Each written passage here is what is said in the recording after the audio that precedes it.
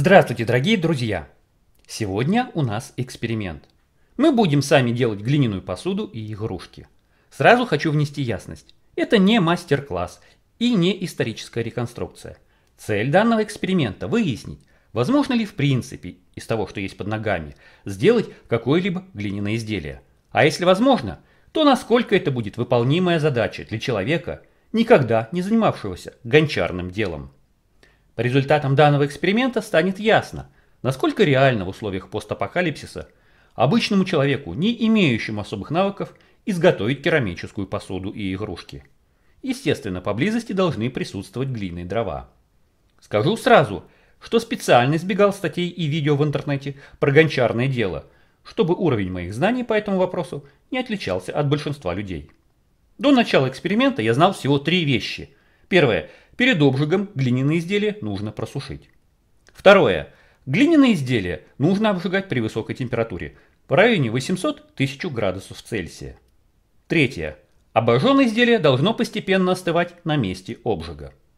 Повторюсь, никакой специальной литературы по гончарной технологии не читал, так как хотел проверить возможность именно неподготовленного человека. Методом логического мышления понимаем, что в обычном костре такую высокую температуру можно достичь, но это непросто. Нужно много сухих дров из твердых пород дерева. Однако, если костер оградить, то будет экономия на дровах и более высокая температура. Таким образом, приходим к выводу, что для того, чтобы обжигать глиняные изделия, нам нужна печь. Соответственно, чтобы сделать печь, нужны кирпичи. Конечно, в условиях постапокалипсиса – Скитаясь по развалинам города, можно найти железную бочку или что-то похожее. Однако на это нужно время. И не факт, что печь получится удобной. Кирпичная печка делается немного дольше. Однако в итоге она будет именно такая, как нам нужно. Кирпичи, конечно, можно взять готовые, на руинах. Но если мы уже ушли из города, так как там инфекция, мародеры, радиация или еще что похуже, то будем делать эти кирпичи сами. Мы проводим наш эксперимент на берегу Оки, и кирпичи будем делать из ила, который набираем и месим тут же, на берегу реки, прямо в яме. Сам процесс замеса грязи не показывают, так как здесь нет ничего интересного. Обычный ил с песком, даже без пропорций, все на глазок. Куда интереснее процесс формовки кирпичей. На берегу были найдены два с половиной кирпича фабричного производства. Ну, думаю, присутствие заводских кирпичей нисколько не нарушает нашего эксперимента, так как в условиях постапокалипсиса найти целые кирпичи будет, думаю, все же возможно. В крайнем случае, вместо готовых кирпичей для формы можно использовать природный камень или даже деревянные палки. Все зависит от фантазии. Так вот, найденные кирпичи были уложены в качестве формы для изготовления наших кирпичей из грязи.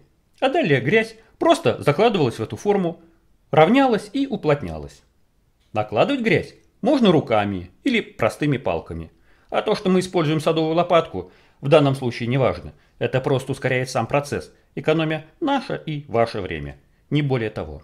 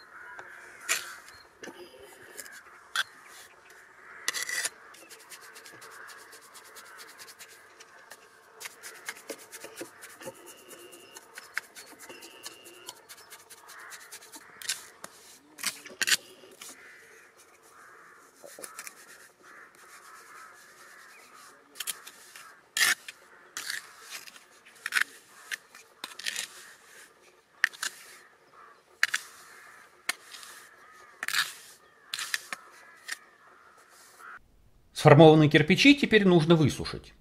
Просто оставляем их на берегу под солнцем на пару дней. И пока сушится первая партия кирпичей, в этой же яме месим вторую партию грязи.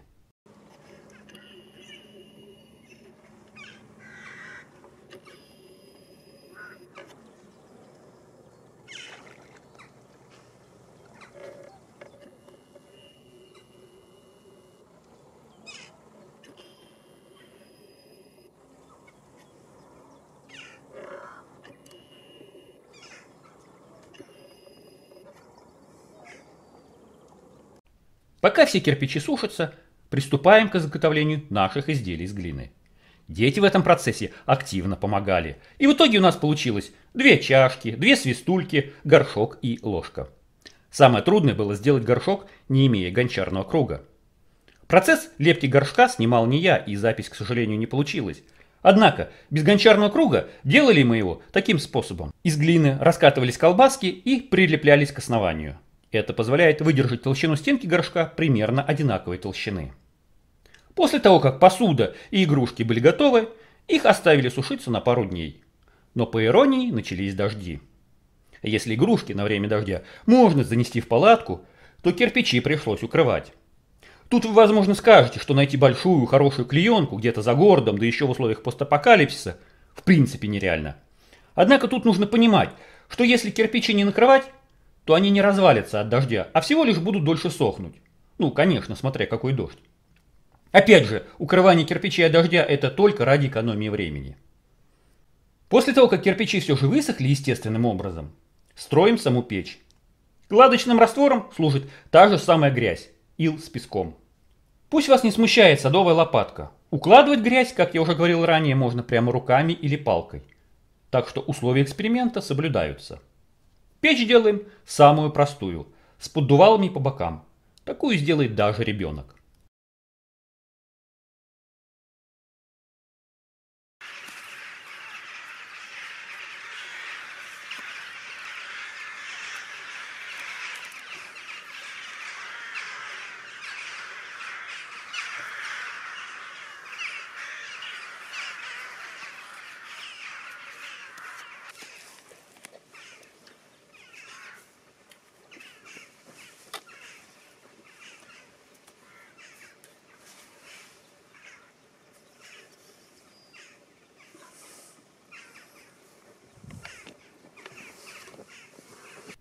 Так как два кирпича по собственному желанию вышли из эксперимента при переносе их от места изготовления к месту строительства печи, а новые кирпичи делать времени уже не было, то один целый фабричный кирпич и еще половинка также пошли в кладку печки.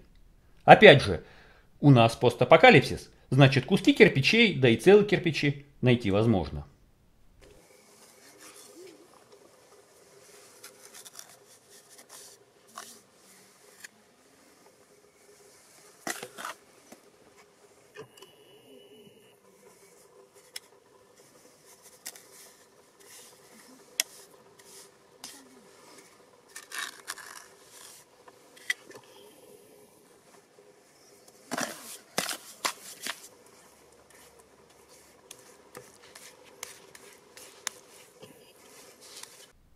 Уже в обед закладываем глиняные изделия для обжига. Ну, заодно и обед приготовим. Оставшийся заводской кирпич используем в качестве основания, на которое будем устанавливать наши глиняные поделки. Так как заводской кирпич всего один и печка небольшая, то сразу все игрушки в нее не вместились. Что и к лучшему. Есть возможность провести два обжига, а во втором учесть ошибки первого. После обжига первой партии, свистульки и двух чашек, сразу не вынимаем их из печи, а оставляем на несколько часов остывать вместе с печкой. Когда они остыли, извлекаем.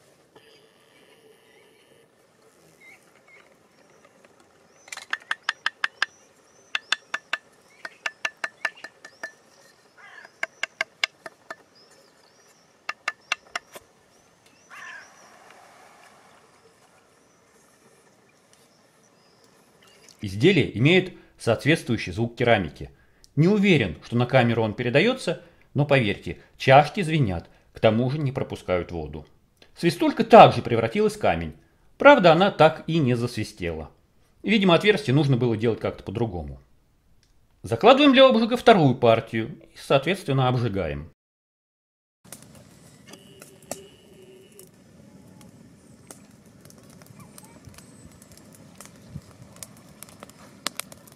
Жар аж здесь чувствуется.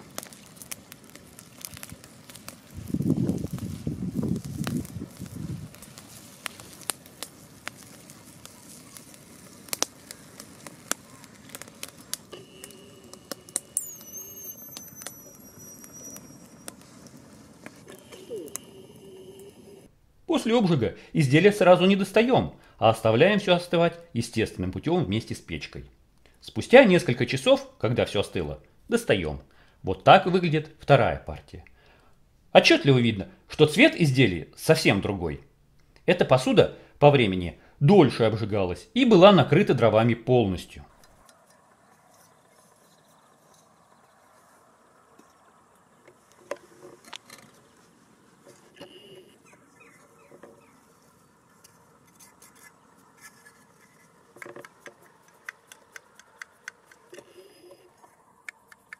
Вот так выглядят все изделия вместе.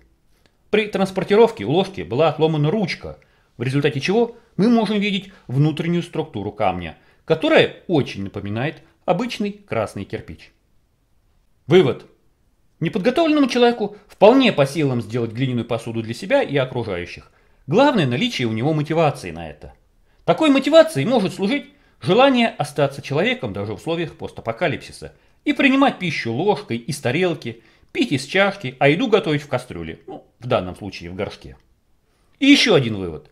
Примерно такие же глиняные изделия и находят археологи при раскопках на городищах и стоянках так называемых древних людей. То есть все эти стоянки вполне могут быть именно местами выживания людей после катаклизма. Друзья, а на этом я с вами не прощаюсь. Впереди еще много интересного. И самое главное, ответ на вопрос, что же было в 19 веке, также скоро будет озвучен. Благодарю вас за внимание. Всего вам доброго. До свидания.